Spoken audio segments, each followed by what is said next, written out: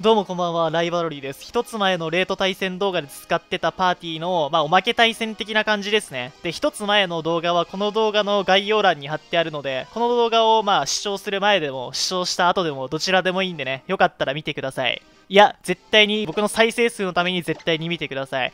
で、まあ、ピカチュウをメインに動画撮ってたんですけど、伝説ポケモン相手でも、まあ、ピカチュウでぶち抜けるんだぞっていうことを、この動画で皆さんにお伝えしていければなと思います。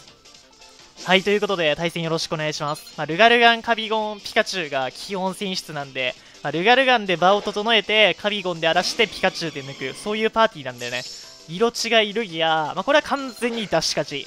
ルガルガン、タイプ的にも出し勝ちだし、まあ、ルギアはね、かなり耐久が高いポケモンなんですけど、さすがにね、この、あー、な、なにこの Z 技なんだっけ？なんとかエッジストーム、さすがに耐えれるわけがない。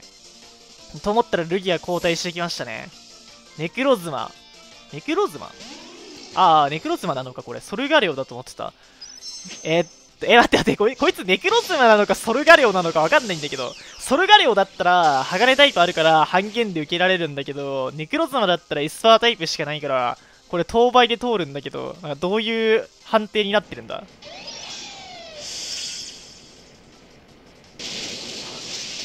半減っぽいな。ってことは鋼タイプある。でも思ったより入ったね。あ、急所でこれか。なんか急所でこれだって考えると、なんかネクロズマの硬さがわかりますよね。えー、ここ、なになになになに知らん知らん知らん知らん。知らん。そう知らん。何この仕様？知らないんだけど。ウルトラネクロ、え、な、わからん、わからん、わからん。いや、本当にわからんすぎてわからんっていう言葉しか出てない。どういうタイミングでこれ、あのー、ネクロズマのソルガレオモードからウルトラネクロズマになるの？えー、メテオドライブ、まあ、これはさすがに落ちますね。さすがに落ちますが、ステルスロック負けただけでもよし、で、こっからの展開としては、まあ、カビゴンだなカビゴンのあけびで、うまくピカチュウの起点を作っていきます。眠れ。え？ちょっと待って おい、知らん知らん知らん。いや、僕ね、あれなんですよ。ガチ対戦しか基本やんないから、なんかこういう伝説ポケモンとかがさ、何してくるか知らないんだよね。やばくない？これ。耐えれるカビゴン。めっちゃ めっちゃワンパンされそうな勢い相手放ってるけど。天焦がす滅亡の光。かっこよすぎだろ、技名。元気玉かなこれ。ドラゴンボールの元気玉リスペクトかな耐えそうですね、なんか HP の平均に。あ、耐えた。実際これどうなんだろうわかんない。なんかちゃんとしたネクロ妻の攻撃だったら、もしかしたら落ちてたみたいなことあんのかな下にちょっとダメージ計算自分で調べて載せといてみますね。あくび打っていく。とりあえずここはリサイクルしますか。プリズムレーザー。すげえなんかおし知らない技いっぱい使ってくるな。おしゃれな知らない技バンバン使ってくるな。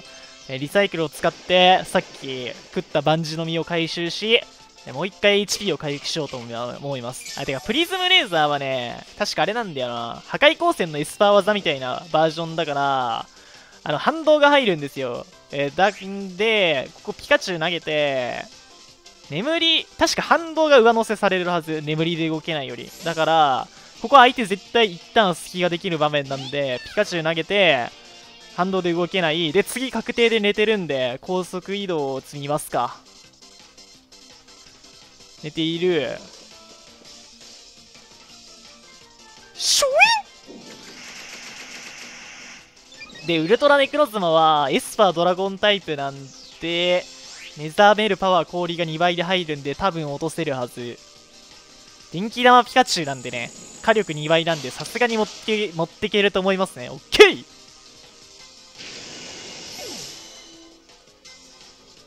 ルガルガン。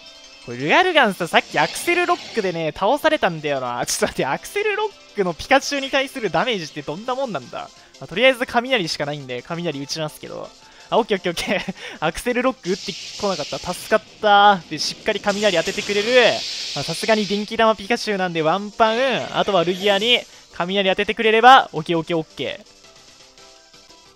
あ、このようにね、まあ、戦い方次第で、まあ、伝説ポケモンであろうと、ピカチュウでボコボコにできるとこれなんかさっきの動画でもなんか似たような話したな。あー、雷で。ここまで話しといてこれで外したらマジで元も子もないけどね。オッケー対戦ありがとうございました。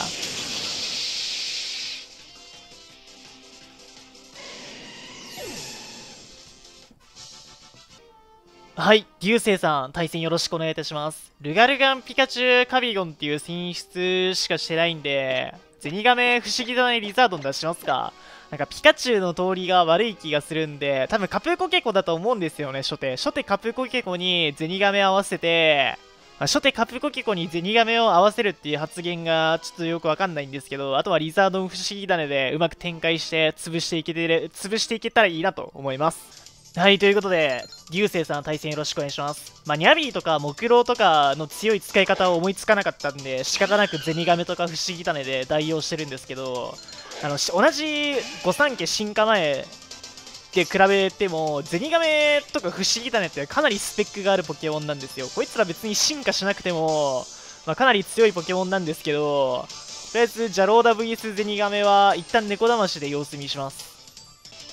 まあ、前動画でも何回かゼニガメと不思議種は使ったことあるんで、まあ、皆さんその強さはお目にしたことあると思いますけど、えー、冷凍パンチがあるんですが、こいつゼニガメビビるぐらいパワーないんで、冷凍パンチじゃ絶対ジャローダ倒せないんで、ここリザードに、草技読みでリザードに交代します。ヘビニラミヘビニラミか。ヘビニラミだったら攻撃すればよかったけど、多分これ、あれだね。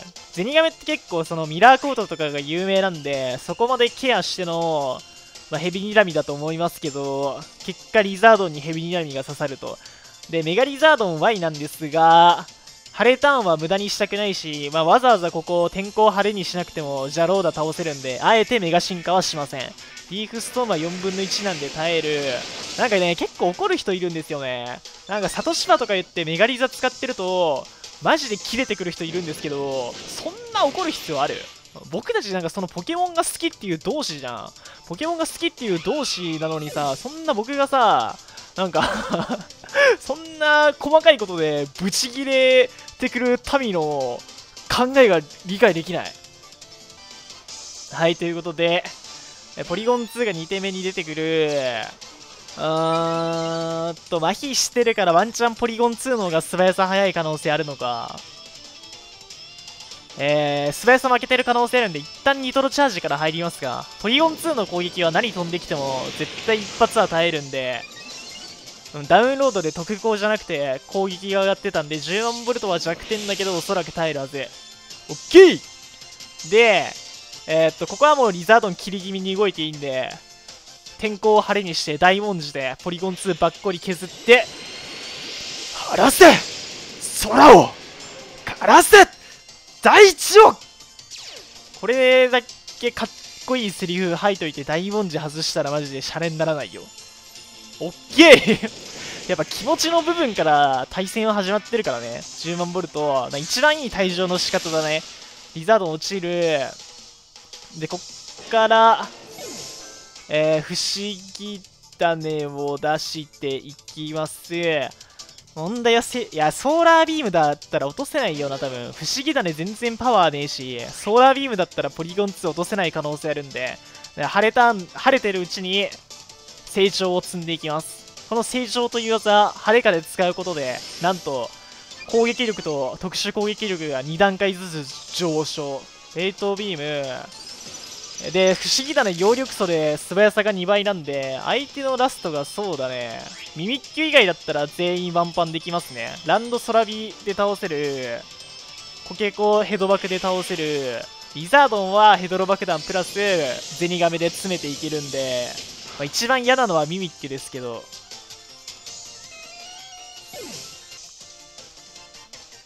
いやー、ミミッキュはダメだって、ミミッ球以外だったらもう勝ちを確信してたのになんでその唯一、あれなわけ？なんか唯一ダメなとこ引くわけ？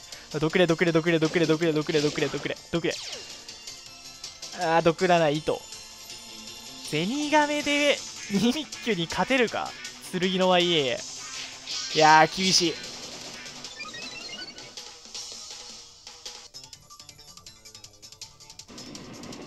一応いやゼニガメ冷凍パンチで氷狙ったがいいか。日差し元に戻る。あのゼニガメ気合のたすき持ってるんですよ。だからミミッキの攻撃ここから何飛んできても一発は耐えるんですけど激流たすき発動激流アクアテールでミミッキ飛ばせるかな。絶対無理だよな。あフェアリー Z か？はいはいはい。やめて！ゼニガメをそんなにいじめないで！ちょ頼む。返しろたすきで耐える。激流。水技の威力が1.5倍。おらはいということでね、まあ、一応アクアジェットがありますが、まあ、影打ちでその前にしばかれるんでおわ終わりと。あーいやこれ勝ってたらなドヤ顔で動画にしてたんだけどな残念無念また来週ということで。